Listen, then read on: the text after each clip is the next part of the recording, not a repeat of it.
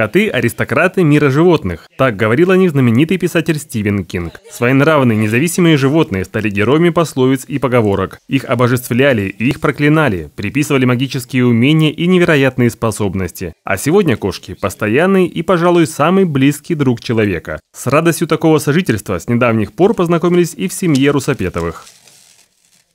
С появлением котов у нас стало еще веселее в доме у нас э, стала еще более большая семья.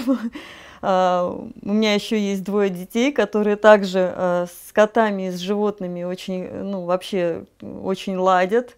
Очаровательные пушистые домочадцы появились не сразу. Семья сначала завела одного кота. Эксперимент был признан удачным, и скоро серому Сереже пришлось разделить лавры общего любимца.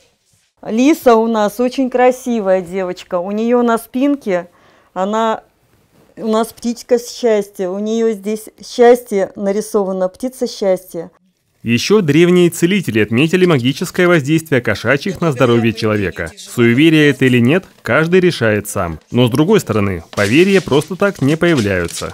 Бывают такие ситуации, когда вот сейчас в последнее время мы ну, заболеваем, да, горло болит, лиса приходит э, ко мне, ложится на грудь и начинает своим теплом и урчанием э, согревать.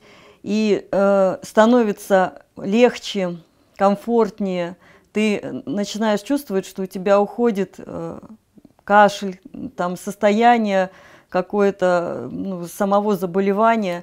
Несмотря на свой нравный кошачий характер, четвероногие прекрасно ладят со всей семьей. Веселья хватает и взрослым, и детям, и даже собаке Майи. Животные благодарят хозяев своей теплотой, нежностью и просто радуют своим присутствием. Тем не менее, общаться с этими маленькими львами нужно уважительно, потому что кошки, живя рядом с человеком, чувствуют себя равными ему. Олег Соловьев, Виталий Степанов, Светлана Разганова, Десна ТВ.